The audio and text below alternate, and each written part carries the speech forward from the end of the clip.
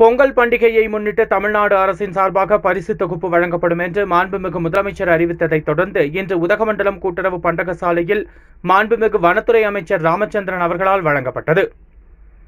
தைப்பொங்கலை சிறப்பாக கொண்டாட அரிசி குடும்ப அட்டைதாரர்களுக்கு பொங்கல் பரிசு தொகுப்பு வழங்கப்பட்டது. இந்த நிகழ்ச்சியில் நீலகிரி மாவட்ட ஆட்சித்தலைவர் அம்ரித் உதகை சட்டமன்ற உறுப்பினர் கணேசன் ஊராட்சி மன்ற பெருந்தலைவர் பொன்தோஸ் மற்றும் கூட்டுறவுத்துறை அலுவலர்கள் அரசு துறை அலுவலர்கள் மற்றும் பொதுமக்கள் என்று பலர் கலந்து கொண்டனர். இதனைத் தொடர்ந்து நீலகிரி மாவட்டம் முழுவதும் உள்ள அனைத்து நியாய விலை கடைகளிலும் அரிசி குடும்ப அட்டைதாரர்களுக்கு பொங்கல் பரிசு தொகுப்பு வழங்கப்பட்டது.